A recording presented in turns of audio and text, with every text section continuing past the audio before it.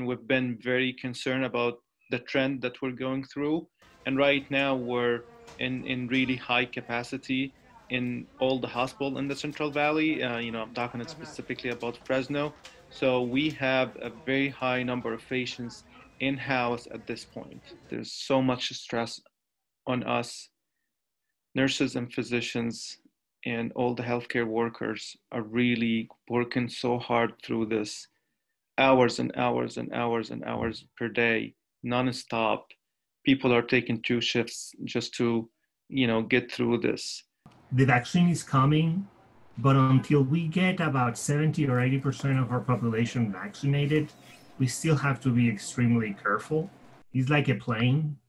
Landing is almost there, but that's actually the most dangerous point uh, because that's when things can happen and you don't have much room to, to recover. Uh, we are at a point that we really don't have that much room uh, to recover uh, with the surge